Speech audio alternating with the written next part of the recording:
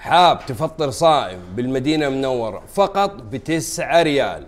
وانت في بيتك؟ تقدر تفطر صائم بالمدينة المنورة وتجمع بين شرف المكان وشرف الزمان. ربع دجاجة مع الماء مع التمر بتسعة ريال.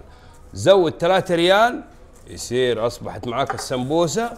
واختار يا لبن يا عصير وب 12 ريال قال رسول الله صلى الله عليه وسلم من فطر صائما له مثل أجره.